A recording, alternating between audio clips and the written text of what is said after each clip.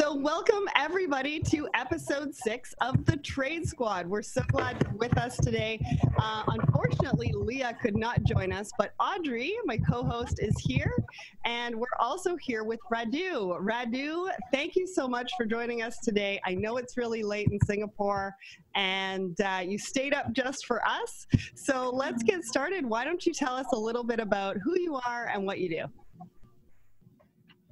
Um, I'm. Um, it, firstly, it's my pleasure to, to to be here with you, and thanks for the invitation. And uh, and no worries about the no worries about the the late uh, timing because um, it it also keeps me engaged longer in the day, so that's that's fine. Um, so my name is Radu Palamariu. I'm managing director of Alcott Global Executive Search. So we, as the daily bread and butter activity, we work on recruitment and executive level searches across the world for the supply chain uh, domain. Um, so that cuts across manufacturing, cuts across logistics, it cuts across tech in supply chain, it cuts across e-commerce and so on. So there's the daily uh, daily activity, and then on the on the side we also have a consulting practice, which uh, helps companies uh, more from um, from an angle of, uh, of uh, projects and consultancy work.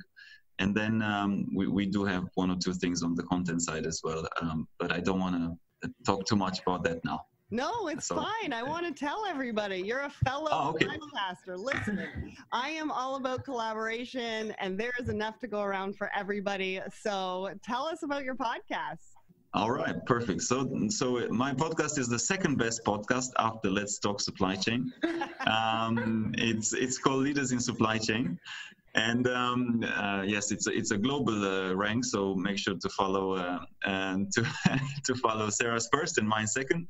And, uh, and basically, we interview uh, we interview C-level uh, leaders within the industry across the globe. So um, I literally had a, a, marathon today where I had the chief procurement officer of Schneider Electric in the morning, and then I had the chief procurement, the chief supply chain officer of um, Novo Nordisk in the afternoon. And the funny part was that they knew each other. And the gentleman was in Hong Kong and he texted uh, Suzanne from Novo Nordisk in Denmark. And by the time she woke up, she got the message and she was like wondering, oh my God, did I already record the podcast? How did Dan know that I was coming on the podcast? I didn't tell anybody. So that was kind of a funny, that, uh, funny side little, story. That's a little bit of a shock to wake up to, eh? yeah, and we do live in the world of artificial intelligence where you can actually fake a lot of things. So I think she was a bit scared that, that something has leaked, but all in good spirit. So that, yeah, we do, we, we do, uh, we are um, uh, fellow podcasters as well. Awesome. That's a great story. And uh, yeah, I encourage everybody to check that out as well.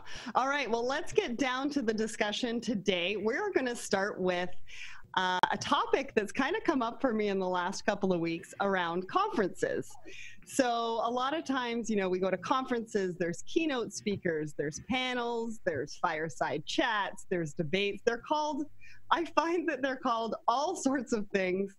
And really, it's just around discussion.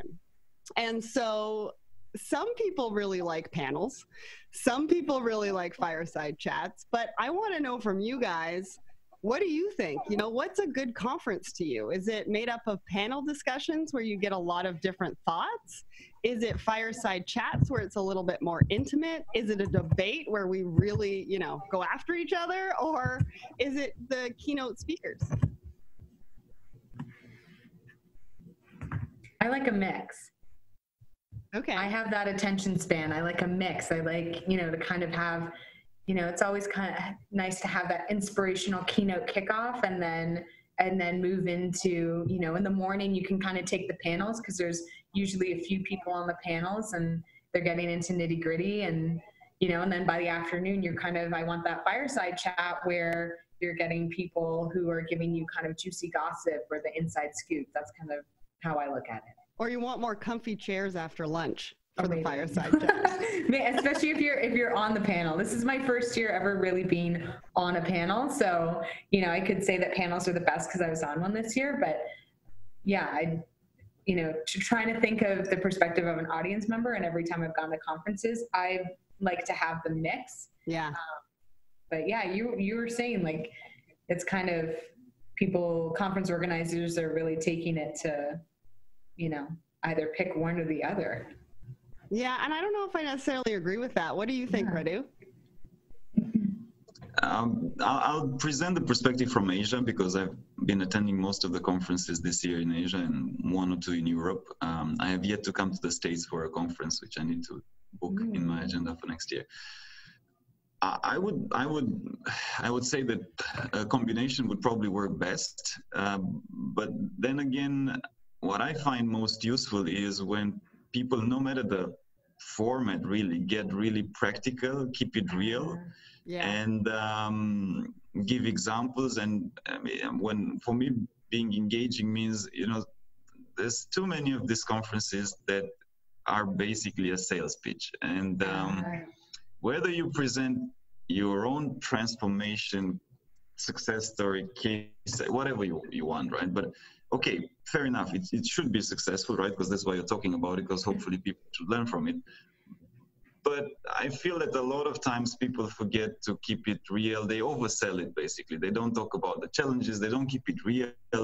Um, everything is over glamorous in terms of how easy it was for them to pull it off, which which is really never the case. So I think that element of where I've seen really good presentations, again, no matter the format, whether it is a fireside chat or a keynote presentation or a, or a panel, is where people really gave. Uh, examples of what they experienced, pluses, minuses, struggles, challenges, successes, and kept it really much um, tangible so that people can take away, integrate, and then and then go back and hopefully apply something in their day-to-day uh, life. Yeah. So I would, I would, I'm a big fan of of that, which is more of a tactical way of doing it in general. But I, w- I would say that every conference should have an element, um, especially in today's world, of collaboration or sharing or roundtable discussions or something where more of the audience or all of the audience is involved in some way, shape, or form during the day. I mean, it should be at least one or two of these sessions, and then they can share the ideas uh, on the roundtable and then can come up and maybe break into smaller groups. I think that's important as well, not just listening, but also getting engaged at some point of the conference, because otherwise Mm-hmm. No matter how active you are, and I think we live in an ADHD and attention deficit disorder type of a world, it's impossible that you're going to concentrate for the whole day. I mean, I just don't yeah. believe that. So yeah. um, you're going to fall asleep after lunch, no matter how comfortable, yeah. comfortable your chair is. So I would put that as a as a, a big must in any conference. Well, I also think that I mean, um, the moderator makes moderator. the difference, right? I moderate a lot of panels, and uh, I do think, I mean, regardless of what I do, but I, I do think that moderators make the difference. Whether it's a mm-hmm. fireside chat, whether it's a debate, whether it's a panel, um, I think they make the difference, right? They're the ones that are that are bringing the energy to start with, and it sort of flows through the panelists so that they know the energy to sort of keep up with and make sure that you know you're all sort of on that same level and engaging everybody. So during my research on this i read a great article by reid hoffman on linkedin and the title was why panels suck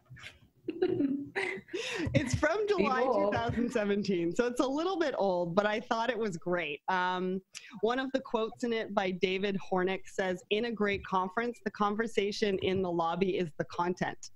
Mm. So he doesn't even consider what's on the stage as the content, it's actually the networking parts of it. Mm-hmm. And so, you know, I throw it out there to you guys. Do you think that we need maybe more networking at a conference rather than content? No, I liked I liked Radu's idea though because I haven't been to a conference lately that has done kind of don't know I guess they do roundtables. But yeah, yeah, that roundtable where it's like you're getting the, the feedback. So it's it's networking in one sense, but it's also, you know, like you and I were both at uh, the JOC in Vegas and you were, you know, you've also been to a couple in Long Beach. And and and a lot of the feedback that's coming out of these conferences is that especially in, in supply chain or in, in shipping and, and transportation or in you know the movement of goods there's there we're really at a, a, a point where there's so much technology coming in and there's so many new companies coming up with technology and there's so many kind of old traditional models of moving transportation and there's so many hiccups in supply chain with you know kind of new international rules and new international routes and trade deals you know, we're all kind of in this weird transition space and yeah. it's not clear yet where we're going. So things like a roundtable to really get feedback, you know, on on on on what my actual day-to-day problems are. Yes, there's the future. Yes, there's all this technology coming in. Yes, but you know ultimately i'm trying to service a customer i'm trying to do something to wow my customers or keep my customers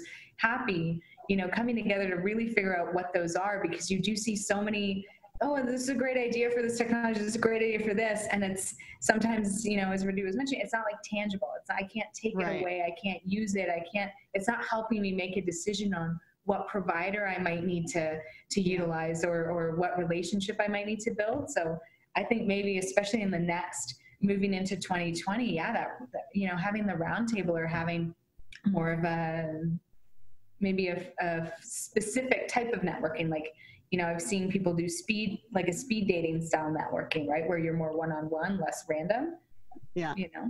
Yeah and that really kind of really get the ideas right? Really get people's feedback and ideas in, in a bit more of a organized way as opposed to just all of our you know talk in the in the hallway don't know? Radu, what do you think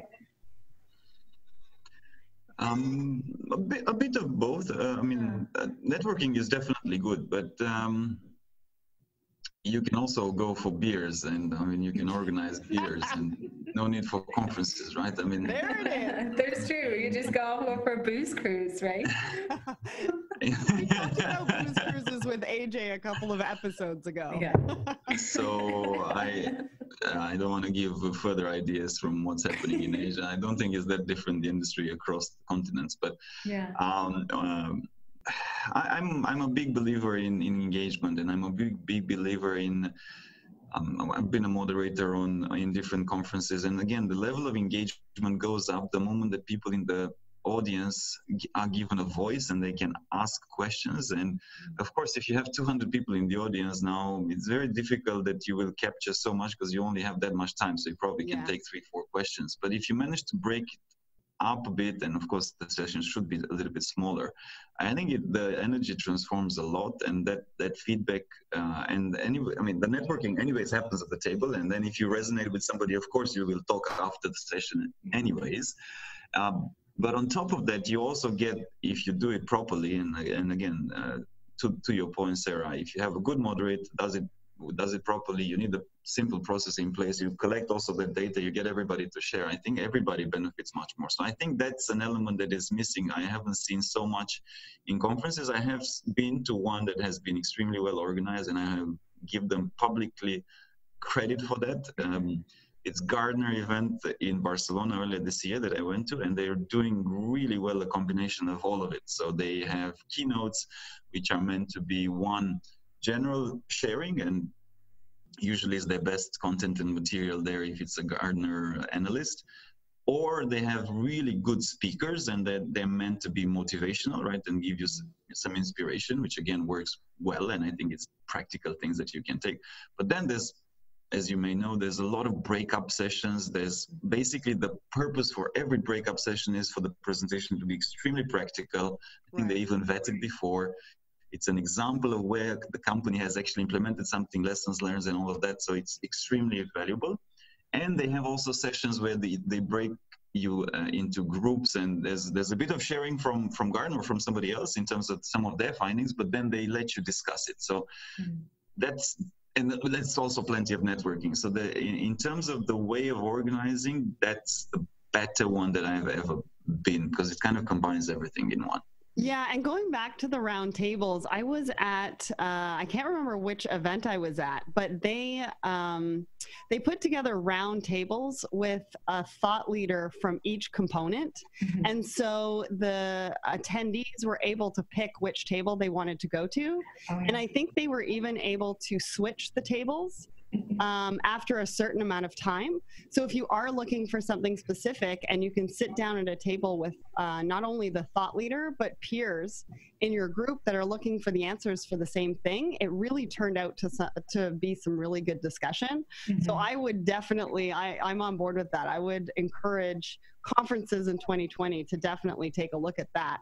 Um, so in the research, I'm just going to end with this he said three ways to make panels better is to turn them into structured debates instead of agreeable dialogue. So Mm. participants should be given specific and unique questions, eliminating repetitive answers. They should be discouraged from chiming in when other answers, unless they have an opposing or contrasting point. And at the close, the audience should vote on who they most, um, who they found the most persuasive with their stance. So that Ooh. gets to your audience point where you get the audience, you know, engaged at the end to really say, you know, who was the one that gave them the most, maybe the most practical, maybe not not the most per- persuasive. I don't know if that's the right word, but you know, who gave them the most practical and uh, that kind of stuff. So that was just some some uh, thoughts on his side. He was also saying that to make things better from a conference perspective is the storytelling aspect. Mm. So not only just talking about the concept, talking about the different things that that uh, are brought up in the panels or even the fireside chats, but to turn them into storytelling opportunities. And like you said, Radu, right, is that you know you're talking about specific challenges that you had, practical ways that you were able to overcome them, and I think that that's really where people are going to be able to learn.